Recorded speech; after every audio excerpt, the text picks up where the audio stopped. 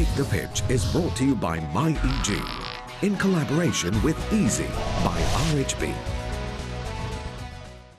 Last week's episode, Jay Menon and Muhammad Anas successfully convinced the judges and investors and received 5,000 ringgit seed money to move on to the next round. Now, a total of five entrepreneurs are in the running to grab the investment of up to half a million ringgit. This week, will the numbers increase or will it remain at only five? Three entrepreneurs will stand in front of the panel of judges and investors to pitch their business ideas. And the judges for today are Shaiful Bahari Shamlan, Vice President, Digital Economy Enablement, MDEC Sendirian Berhad. Datuk Dr. Norraesah, Executive Chairman, MyEG Services Berhad. Nazrin Hassan, CEO Cradle Fund Sendirian Berhad. Afzal Abdul Rahim, CEO Time.com. These are the judges and investors who are given the authority to write the destinies of our three entrepreneurs tonight. Will they go home with joy and success or empty handed? All these will be answered tonight.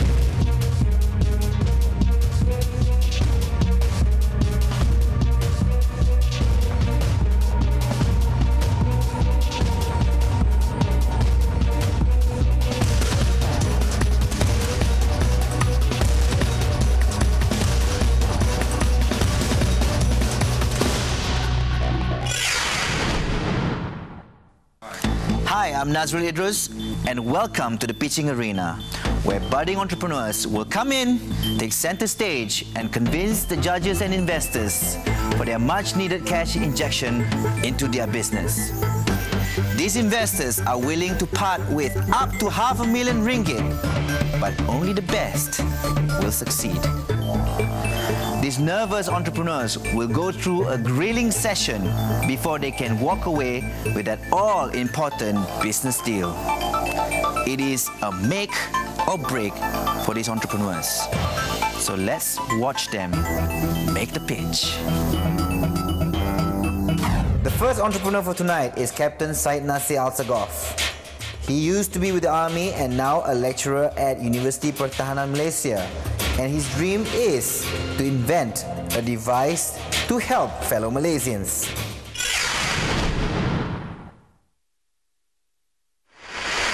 I am uh, Captain Syed Nasir Al-Sagaf bin Syed Zakaria, retired. I am uh, currently a senior lecturer at Universiti Pertahanan Nasional Malaysia. Based on my research and development at Universiti Pertahanan Nasional Malaysia, I have came up with several products related to defense and security and safety. And that is the product which I am pitching for this competition. And then from there, I came up with the idea to prevent missing children. There's been several reports of missing children here in Malaysia. One of the major cases was that this one girl went missing and then was found dead. My son is the same age of the girl that was taken. So whenever I go out with my wife and child, my wife gets very nervous. Of course, as a mother, I'm very nervous. So definitely when we go out, I do keep very, very tight eye on him. And I do worry about him at the same time. And because she gets worried, I get worried also. And I think at that point of time we were talking and we were saying that perhaps be good if we could have something similar to find not just lost people but lost children. So from there, I developed a system to prevent missing children. I told my wife that I have developed the system and for testing, our son can use it. At least if we go out, if anything happens to him, the system will trigger and alert us said that son has left the area and it will track my son where he goes. Come, give me your phone. Okay. Let me just configure the phone.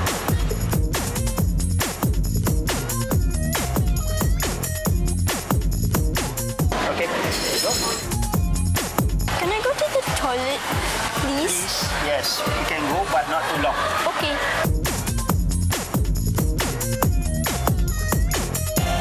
Where is it? Uh, don't worry, I can check.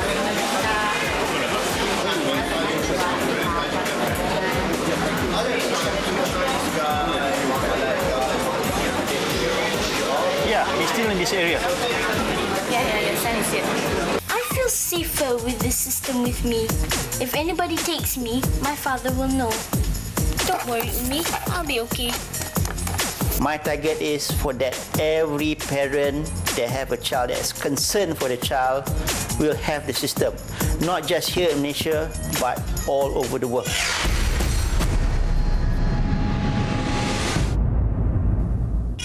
Assalamualaikum and good evening. Assalam. I am uh, Captain Syed Nasir Alsagoff, uh, retired, and this is my son, Syed Uzam. Hi. Uh, as we can see from the uh, trailer just now, I've come up with a system that allows for a parent to basically specify a safe area for the child. And if the child is taken out from the area, the parents would know. And the system can keep track of the child. The system does not use GPS system because of the problem with GPS. And actually, my son is actually using the system just now. Show the phone, please. Yep. He's, anybody takes him with his phone, I can immediately know through SMS and I can keep track of him. I'm actually asking for 496,500 ringgit to basically kickstart this business. Yeah, what is your revenue model? Okay, my revenue. outright, outright sale of the product or is uh, tied up with a service provider? No, it's yeah, it's not tied up with a service provider. Mm. Currently, I'll be offering the, the software only. If they we install for them, it's 50 ringgit. Mm. If they download, it's free. But I can also off- offer the phone plus software for 100 ringgit. Mm. And then the other revenue will come from the tracking itself. We will monitor the child for the parents. Uh, that will come to about 49 ringgit and 95 cents per month. Okay, the phone by itself is a very attractive thing. So, you know, someone would just grab the phone, not your child, perhaps, the phone. So, you'll be actually tracking the thief rather than your child. Okay, actually, let's say if you have a daughter or son, probably your daughter will probably have the phone inside the her handbag, can see. And then your son probably has in the pocket, can see. So let's say if somebody grabs your son or daughter, they just grab everything, bundle inside the car. Then once they reach the place, that's when you see the phone. But they only see just a normal phone, but, but the thing is still tracking them. It depends on the coverage, isn't it? If Yeah, there's no it still coverage at a certain coverage, yes. instant, that's, there's no point also, isn't it? Yes. The judges feel that his device may not work in certain places, but Captain Syed has the answer to it. Basically, the only alternative in the market using a GPS bracelet, but the problem is GPS bracelet because of coverage also. Under the building, it cannot, it won't be able to track. I My think you're slightly mistaken there, Captain. I think there are several alternatives in the market. Yes. If you start looking at other tracking systems, whether it's a proprietary Nokia system or even using Google Communities, there's many ways you can track people there. So I think Yes, yes. that statement about being the only alternative being a GPS bracelet is rather erroneous. Uh, but that, that- that market is for other market, but this is for tracking child. Hmm. Uh, this is for my, Arguably, those systems can do the, exactly the same thing. yes, they can. Is, is this uh, But but uh, uh, let me just answer that one. But for one the, for that one, I want my system to be as easy as possible for the parents to use. All the parents have to do is basically come to the area and just do a scan. That's it. They do not know they, they do not know about the area or anything like that. That's all. Does it work on only certain phones or is it available across all platforms? Uh, currently, I'm working on Windows Mobile, but I'll be converting it to under Symbian and Android. on the location placement? Is this via base station triangulation? How accurate is it?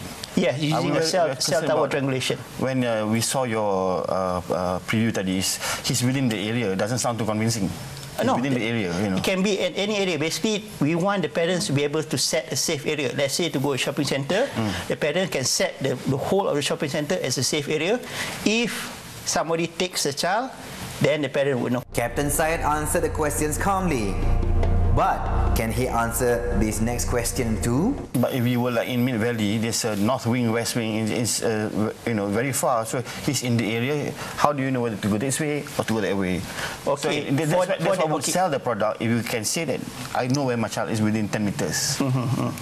Okay, but for that for that one, okay, for let's say a big place, one of the services which we will be offering for that 50, uh, 49.95, we, we can give. Uh, let's say the parent wants to go to Mid Valley, so we can actually give them the data for Mid Valley itself.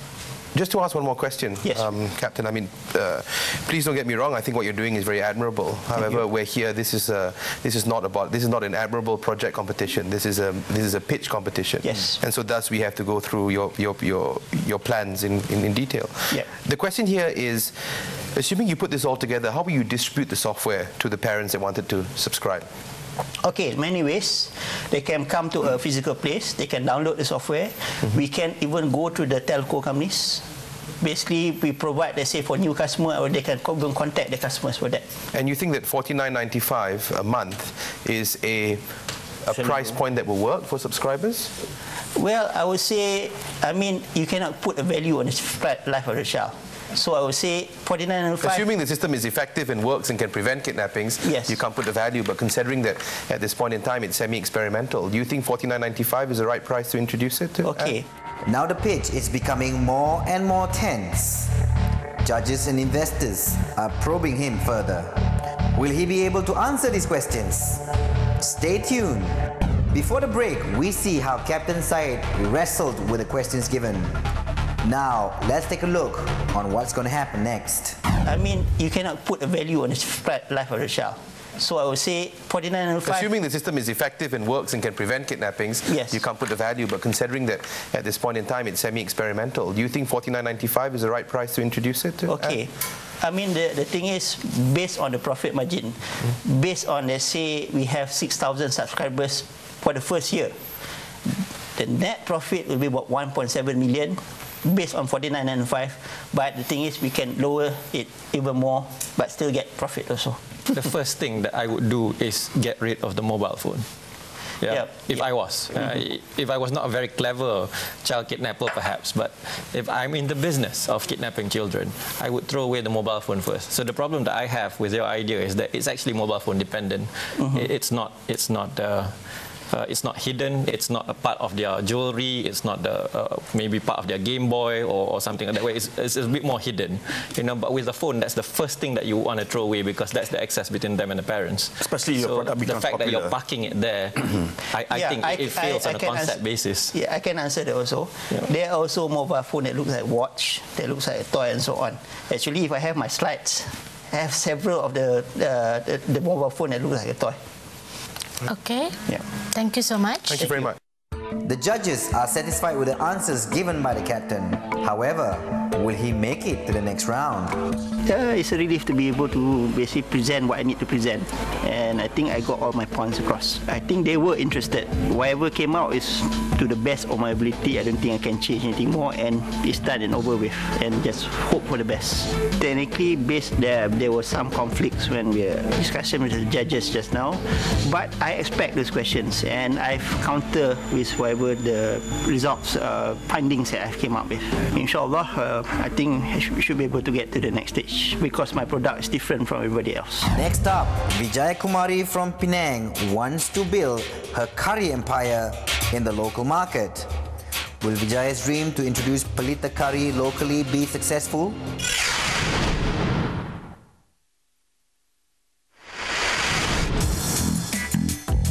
Hi, I'm Debbie Vijaya, the founder of Terra Harvest Foods Malaysia Sdn Berhad. I started this in year 2004. Before I start this manufacturing, I was actually involved in a industrial trading. I was badly hit by the recession in 97 and it took me seven years to lift my head.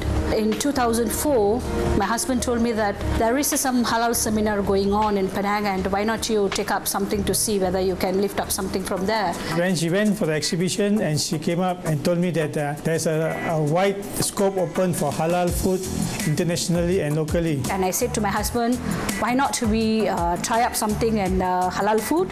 I told her we don't have any funds. Since I got some wedding jewelry, you know, I said, why don't we put this is the last game that we're going to go in? And I said, okay, we put in our jewelry and we managed to raise some capital. We, what we have, the small fund, we try to build up again a new business. We realized that actually we have something in common. My husband was doing some trading during his early 80s before we got married, something to do with curry powder. And that's where I said, look, since 80s you have been doing some trading, food trading like curry powder and some, some not. Why not we put our hands together and see whether we can do something with it? He agreed with it and then we put our hands together and uh, we went all out by buying the curry powder and we used to label it.